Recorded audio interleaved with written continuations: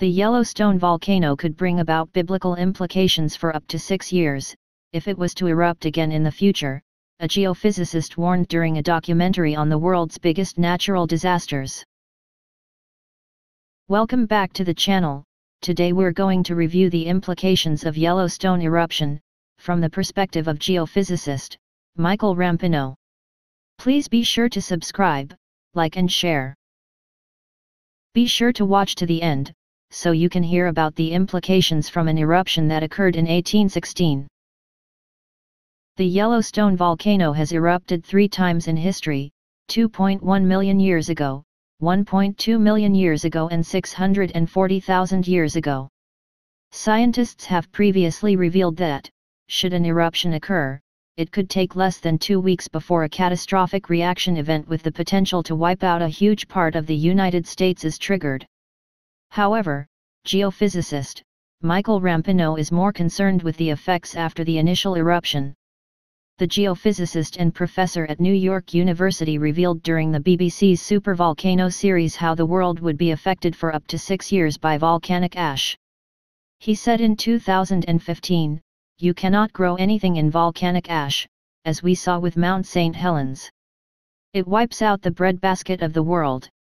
Recovery would be a long process, so where does food come from in the meantime? Imagine six years without a growing season, I foresee a very biblical time where civilization would be strained at the roots. This eruption would be the most severe conditions human beings have ever met. The last eruption of Yellowstone produced around 2,500 times more volcanic material than the 1980 eruption of Mount St. Helens. This created an eruptive column so colossal that it covered around 60% of the United States in a thick layer of ash. Should the same happen again, a mixture of ash, lava blebs, and superheated gas exceeding temperatures of 1000 degrees Celsius could move at speeds of up to 300 miles per hour. If the pyroclastic flow hits anyone, they would possibly die within seconds, as the air could heat up to around 300 degrees Celsius. Mr. Rampino also revealed how this huge pyroclastic cloud could also ground planes. Any aircraft heading over the state of Wyoming faces the possibility of suddenly nosediving should the mixture of rock, minerals, and volcanic glass suffocate their engines. He said, the ash can go into the jet engines and coat it. There have been horrifying predictions of planes just losing their power and nosediving while the pilots try to figure out how to get the plane under control. There are lots of ways you can die. Another way would be to inhale the stuff, the glass attacks the lungs, the bones and kill you from the inside. According to research published by the Global Volcano Model Network, in 2018, more than 278,000 people have died as a direct result of volcanoes, in the last 500 years. The international team of experts also listed the places most at risk of volcanic activity. Mount Tambora, on the island of Sumbawa, directly killed 70,000 people in 1815, leading to a year without summer, across the northern hemisphere. The eruption temporarily altered the climate, meaning the volcano ultimately claimed even more victims through famine and disease. Geophysicist, Michael Rampino's concerns are not unfounded, documentation on the climate change that occurred after the 18 15 eruption can be found in North America, Europe, and Asia.